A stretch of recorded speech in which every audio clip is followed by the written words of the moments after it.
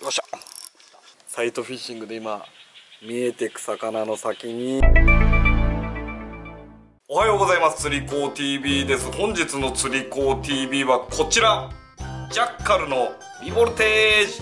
RV バグ1.5ね。このワーム使ってみたかったんですけども今回ね購入することができましたのでそしてですね、えー、釣りに行って使ってみたところ早速ねいい感じで魚が釣れたのでまずはそちらをご覧ください。やるぞって感じで上がってくるだろう。下りの方が釣れるはずだな。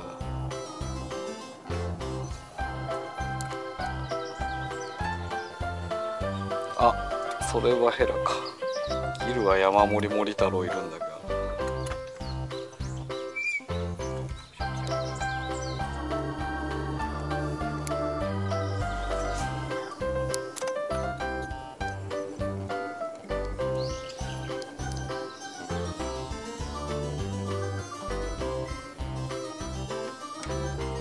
中途半端な天気だな。あいた。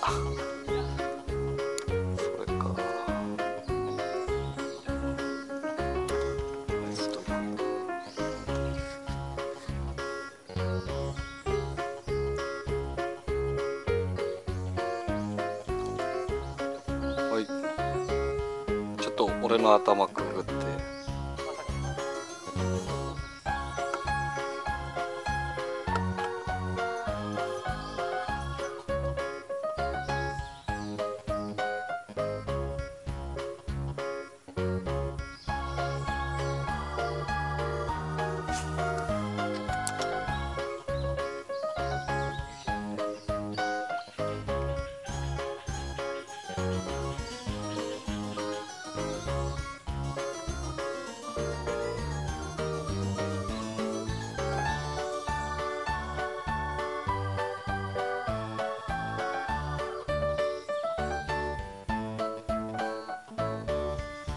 よっしゃ。あ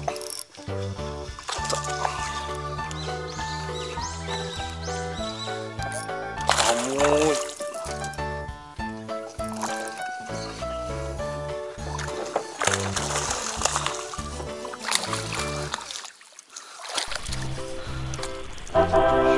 ありがとう。はい。これねサイトフィッシングで今見えてく魚の先に投げておいといて沈む虫のジャッカルのねなんだっけなリボルテージ。これね初めて使ってみたんですけど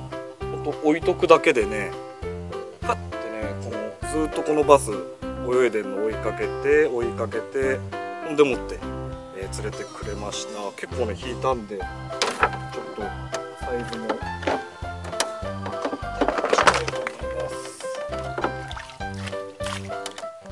40センチ。リボルテージバス。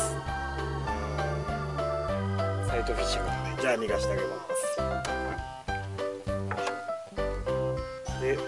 こんな感じでオフセットフックで根がからないようにしてでバスの進行方向に投げて置いて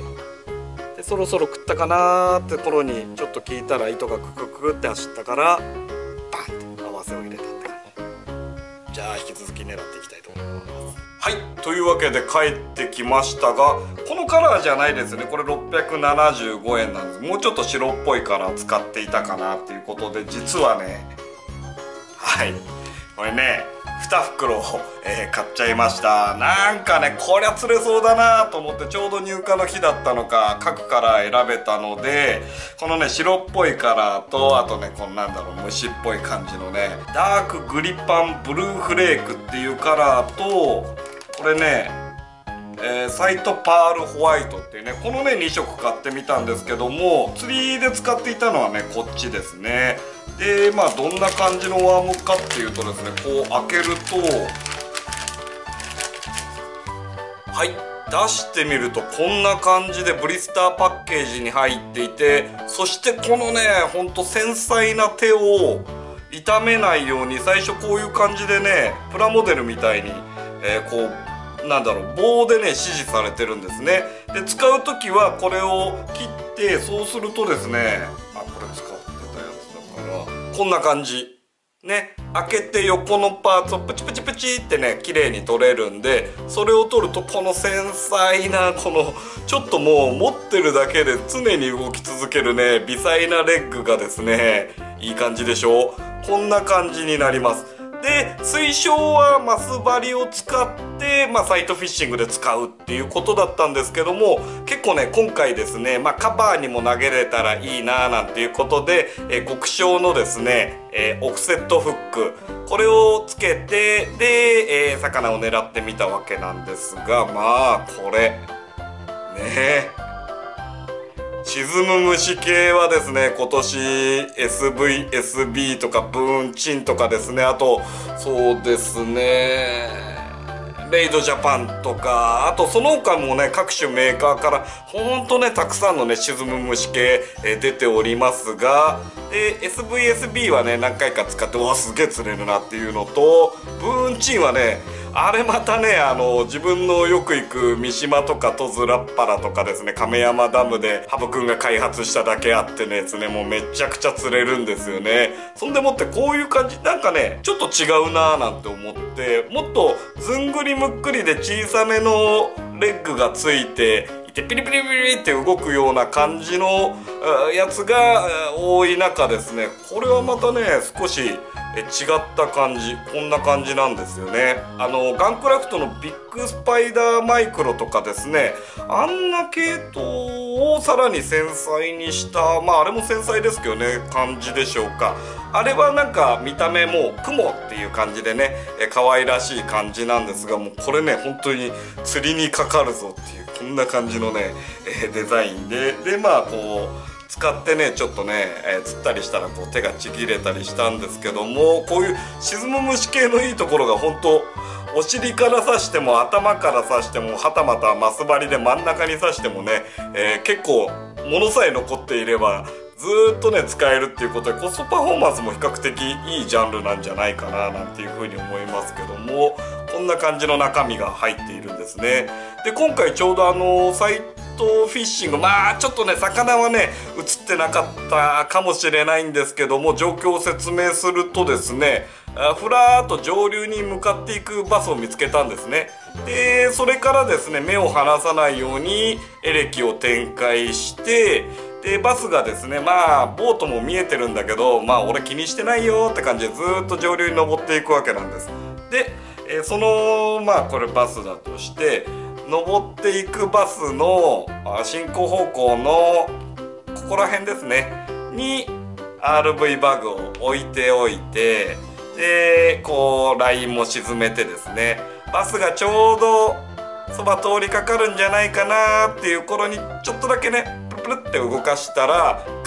グーってね竿が入ってくれたんです。かけた時はもうバスは見えていなかったんですけどもだいたいバスの進行するスピードとあーまあ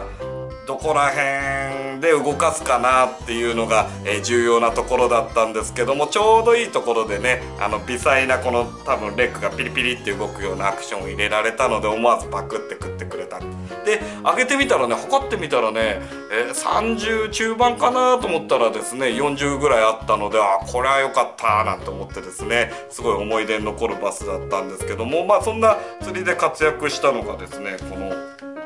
RV バグなんですね。もうね若手のサイトのもう超名手藤田、えー、京也さんが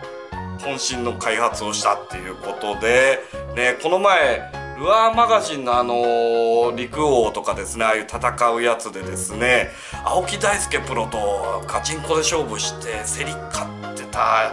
うん、確か競り勝ってたななんていうねそんな記憶が一番新しいんですけどもああいうですね本当フレッシュでめちゃくちゃ強いああいった釣り人どんどん出てくるんですね。でトーナメントシーンなんかもどんどん盛り上がっていくといいなーなんていうふうに思いますけども。そんなね若手のね強いプロが、ジャッカルとね、組んで開発したっていうことでまあこれはね、えー、一袋買っておいても絶対損はないんじゃないかなって。で今回ね、え、買ってあすげえ釣れたと思ってね、えー、非常にですね印象に残ったので改めてですねご紹介ということで。でまあ1個あたりこれ重さ出るのかな？結構ね他の沈む虫系とかと比べても使ってる感じ非常に軽い印象なんですよね。ちょっと重さ測ってみます。あ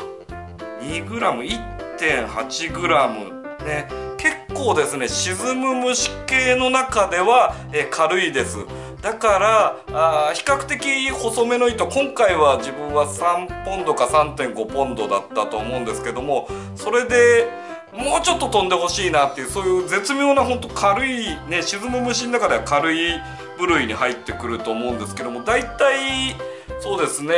3g に迫るような重さの個体種類のルアーが多い中でこの 1.8g っていうのはだいぶ軽い方なのでほんとねここぞっていう繊細なねバスの突き場とか接近して狙うとかあとは細い糸を使ってちょっと遠目に飛ばしてさらに警戒心を抱かせないようなこういうスモールシルエットを使って食わせるとかですね。そんな時に非常に役に立ってくれるんじゃないかなっていうことで、えー、虫のシーズンまだまだこれからですのでこれから夏のハイシーズンの釣りとかですねまあ魚さえ見れていれば秋口ぐらいまでお世話になるんじゃないかななんていうふうにあとはダウンショットの具なんかにしたらまあ冬場なんかも使うことになるかもしれないですよね。というわけでこういう感じで2袋買うことができたんであと